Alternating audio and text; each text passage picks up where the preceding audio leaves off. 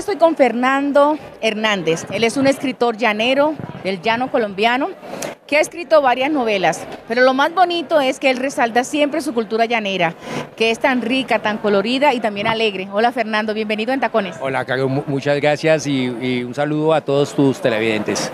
Sí, a toda nuestra audiencia en América Latina. A toda nuestra audiencia en América Latina. Comencemos con tus novelas, Fernando. ¿Tú naces dónde? Yo soy del Llano, nací en Villavicencio, Meta. Eh, Villavicencio es la capital de un departamento que se llama el Meta, que es, hace parte de la Orinoquia de Colombia, Correcto. hacia el suroriente del país. ¿Y hace cuánto naciste? Ah, eh, No, no me tranquilo. eh, eh, no, no, no pasa nada, yo te lo digo. Yo soy sesentero. Sesentero, muy bien. Esta es una década muy sabrosa. Sí, sí, sí. Fernando, tú ganaste el año pasado un premio a la literatura. Eh, cuéntanos un poco de eso para irnos adentrando en tus obras. Ok, eh, el premio que gané fue con esta novela casualmente que hoy estamos presentando. Se llama Maldición Guayba la novela y el premio es de Julio Daniel Chaparro, es eh, una convocatoria que hizo el departamento y eh, bueno, el jurado consideró que ameritaba tener, darme el primer premio, cosa que me alegra mucho porque es un apoyo grandísimo para la, la cultura, po- porque es un esfuerzo, escribir es un esfuerzo solitario y contar historias de nuestro llano es una cosa maravillosa y, y- y bueno, y que te reconozcan es, es muy importante. Total. Esta maldición de la gua- gua- guaiba. Guayba, maldición guayba. Es decir, así rápidamente, ¿qué significa la guaiba y una maldición? Eh, es el, es el grupo étnico eh, que es- estaba sentada en la, eh, en la región cuando se hizo la, la colonia, la segunda colonización del llano. Ellos eran habitantes de esa zona del país, de la Orinoquia, y estaban eh, en, los, en las riberas de los ríos, eran nómadas. Cuando llegaron los colonos, eh, los colonos tomaron posesión de estas tierras y eso generó una confrontación grande y de ahí nace una maldición sobre un antepasado de nuestro protagonista de la novela. de la novela. Esa novela tiene que ver con tus anteriores, que son que esta es la primera, Estación Tierra o la segunda. No, Estación Tierra, la- esta es la primera edición de Estación Tierra que fue... Pero fue tu primera novela. Fue mi primera novela. Y luego se hizo, eh, pues se eh, reeditó porque se, se agotó, entonces salió es, Maldición, eh, perdón, Estación Tierra con una segunda carátula, otro diseño y se, y se le hizo otro trabajo. Y después vino eh, la otra novela que estás viendo en el reel, que eh, es más que novela, es una colección de cuentos que ya, se llamaba o se llama Cuentos para antes de morir. Es decir, la del medio, para decirlo así, de las tres novelas. Sí. Una son cuentos, una, una recopilación de cuentos. Sí. Y estas dos, la primera y la última, o la más reciente, sí son novelas. Son novelas. Y casualmente, de Encuentros para antes de morir, el primer cuento, que se llama Maldición Guaíba, es la, es la semilla de esta, de esta, de esta segunda novela. Es decir, que en ese, en ese segundo libro que tú cuentas todas esas pequeñas historias, es cuando nace como esa primera parte de lo que es esta novela con la que acabas de ganar el premio. Así es, tal cual. Cuando conversábamos antes de esta entrevista, tú me decías que, que un escritor colombiano nunca iba a estar lejos de la violencia, porque se creció con esa violencia en Colombia, un, un país con un conflicto armado. Entonces, digamos que de ahí la violencia del llano, tú que eres llanero, es la misma violencia que ha pasado en toda Colombia. Sí, lo que pasa es que sí, es efectivamente la, es la misma clase de violencia. Eh, digamos, eh, la gente del campo en el llano se vio también expuesta a grupos paramilitares, a grupos guerrilleros y la población civil se vio envuelta en medio de ese conflicto.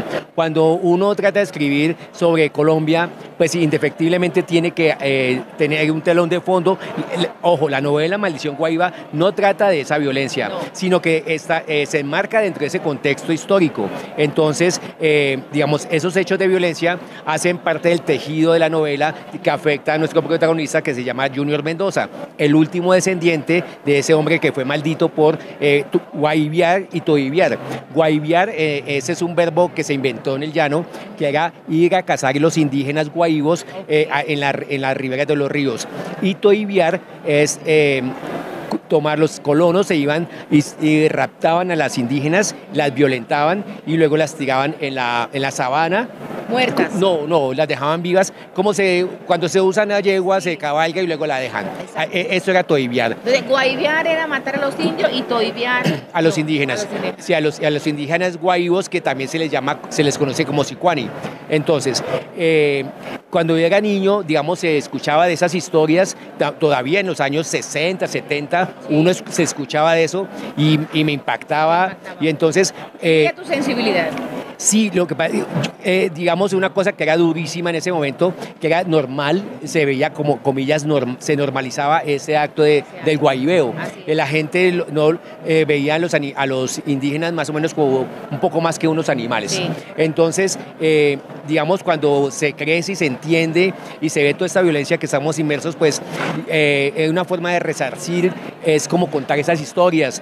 Y casualmente, haciendo este trabajo, hice una investigación sobre toda la cosmogonía, la cosmología de, los indígenas guaygos es divina y se desconoce, la desconocemos. Entonces, aunque es una novela, es, es ficción, entonces tiene elementos de la realidad. Claro. Y bueno, de lo que viviste de niño, ¿no? Y de lo que escuchaste durante toda tu vida. Sí, y, y, y de hecho, la historia de, lo, de este hombre, eh, cuando se está escribiendo, tomamos referentes, cuando estamos haciendo el personaje, tomamos referentes de la vida real. No es que sea la historia de ellos, sino como unos referentes.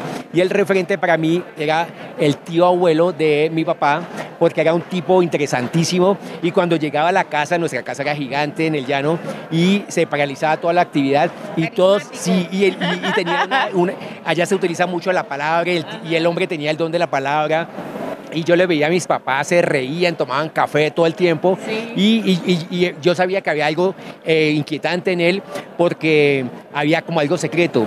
Pues resulta que en la, en la, novela Maldición Guaíba, el hombre fue, eh, este hombre se llamaba Emiliano Mendoza y lo maldijo la indígena que ninguna mujer, no, no podía ser feliz con ninguna mujer.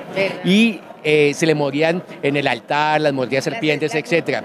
Pero esto sucedió en la, en la vida real a ese, a ese señor tío abuelo. Qué bonito, qué bonita historia. Sí, es una mezcla de la vivencia, la creatividad, lo que viviste de niño y tu imaginación. Sí, efectivamente.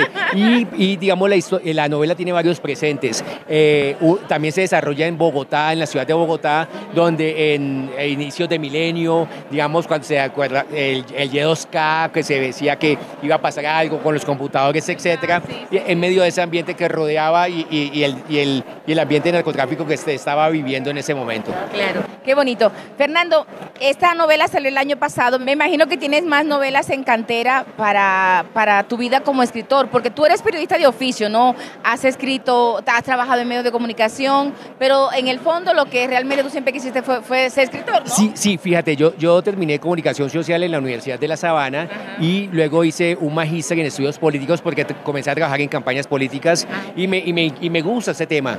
Em, eh, trabajando ya en medios, hice eh, radio, eh, prensa, escrita, televisión y recuerdo que tuve una crisis existencial como... nos da a todos. Sí, y entonces, eh, porque hacía análisis de, de, la situación política, pero me sentía que no me llenaba eso. Entonces me puse a pensar, a mí, ¿qué, me, qué yo haría en la vida si así no me pagaran? ¿A qué dedicaría mi vida? Y entonces recordé que en esa casa grande que te estoy diciendo, eh, donde yo nací, crecí, en ese entonces, no sé, no sé, en el llano... ¿Y había vacas y caballo? No, no, no, no, no, no era, en el pueblo, pero en, en ese entonces eh, las mujeres parían en las casas. Claro, con sí, y una comadrona. que, sí. exacto. Y entonces eh, eh, en el hospital era muy raro. Entonces yo nací en la casa donde fui engendrado. Y, sí, y, ahí, y, cuando era niño, entonces yo soy el menor de, de, la primera tanda porque mi madre después murió. Entonces yo recuerdo que me quedaba solo en la casa con mi mamá y mis hermanos estudiaban. Y yo en el patio, era un patio gigante, había una, una banca y yo me contaba historias de fantasías. Y entonces que en esta crisis que te cuento que la tuve, yo qué, me encanta hacer, entonces yo dije, es contar historias, porque de hecho en mi familia se cuenta mucha, hay mucha tradición oral. En, los llaneros. exactamente, sí. Y entonces en esa banca lo que yo hacía era contar mis historias eh, de un, eh, y, me inventaba. Y cuando en esta crisis que te decía, entonces bueno, yo quiero contar historias. Y, fue cuando nació el primer borrador de, Estación Tierra. Eh, y me apasioné, me puse a escribir, eh, hice cursos de libretos de televisión, eh, comencé a hacer escaletas y ahí fue surgiendo toda esa, como ya había hecho televisión en, periodista. periodista, entonces yo pienso mucho en imágenes. Entonces es como si las imágenes me llegan y lo que hago es describirlas, etcétera, etcétera. Básicamente eh, así es que se está trabajando eh, con el, con, con, es como lo hago para escribir y así nació eh, Estación Tierra, así nació Cuentos para antes de morir y Maldición Guaíba. Este es el sombrero llanero. Así es. Sí, quiero que te lo pongas porque ya vamos despidiendo nuestra nota. Y invitar además a toda ah, nuestra audiencia.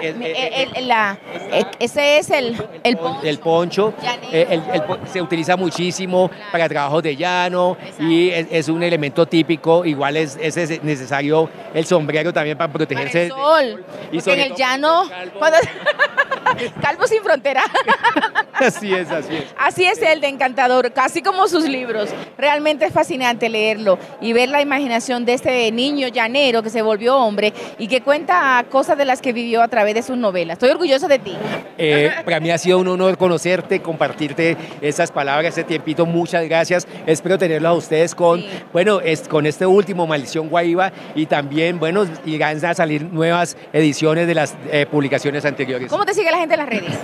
Bueno, eh, hay Instagram, eh, está Maldición Guayba. En este momento se está manejando Instagram con Maldición Guayba, así se llama, y lo, pueden encontrar. Y hay, hay unos reels, eh, ahí también hay algunas entrevistas, etcétera, etcétera.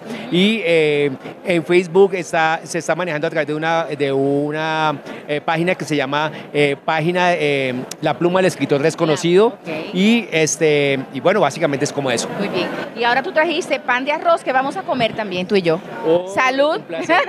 Ese es el pan. Una cosa que me parece interesantísima, aquí de mostrarles aquí en la contraportada del libro, aquí vamos a ver unas imágenes que son eh, de reales.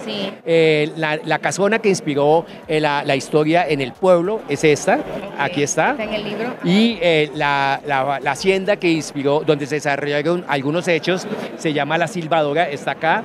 y estos son los asperos del abuelo. Ah, y aquí están los dos niños protagonistas y cruzando el río Manacasías, que es un río importante del llano, con la, con la nana y con, y con la madre.